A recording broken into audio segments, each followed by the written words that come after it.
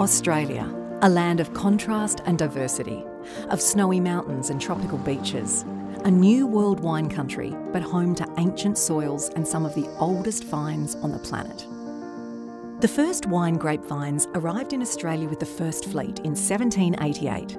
Today, more than 100 different grape varieties grow across 65 distinct wine regions. Although Australia is home to world famous wine brands that have found huge commercial success, this is just one part of its remarkable wine story. Australia is the world's sixth largest country, far larger than Europe, and it is this huge size that explains the diversity of wines produced here.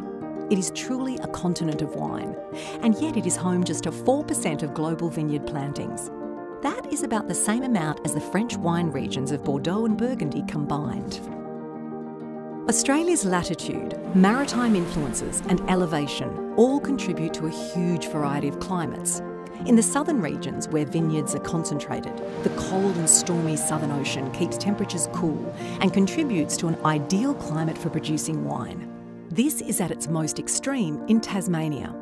Bathed in cooling ocean currents, Tasmania has a truly cold climate, perfect for the production of high quality traditional method sparkling wine that it is celebrated for.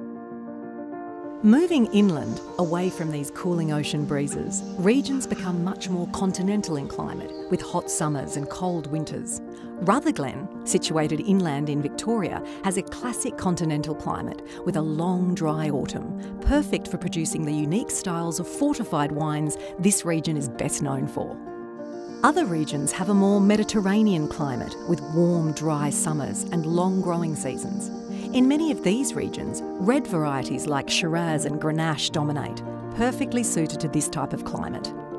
Margaret River in Western Australia also enjoys a balmy Mediterranean climate, but here this is tempered by a strong maritime influence. This, alongside the region's ancient gravelly soils, make it a natural home for world class Cabernet Sauvignon and Chardonnay. Shiraz is Australia's most planted grape variety, and Australia has the greatest diversity of styles of Shiraz in the world. Classic warm regions like Barossa Valley and McLaren Vale give full bodied, richly textured wines with layers of black fruit, oak, and spice characters.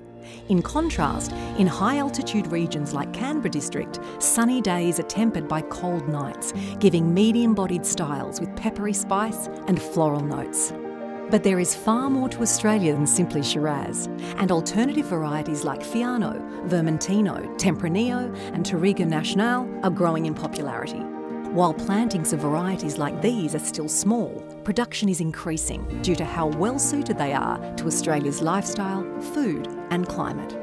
Australia's wine regions are geologically ancient, and the country boasts some of the oldest grapevines in the world.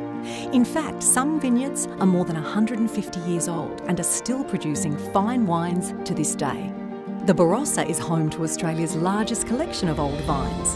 The oldest Shiraz vines in the world, planted in 1843, still flourish here, along with the oldest Grenache and Mourvedre vines. Australia's unique climate and landscape have fostered a fiercely independent wine scene, home to a vibrant community of growers, winemakers, and viticulturalists. We're not beholden by tradition, but continue to push the boundaries in the pursuit of the most diverse, thrilling wines in the world. That's just our way.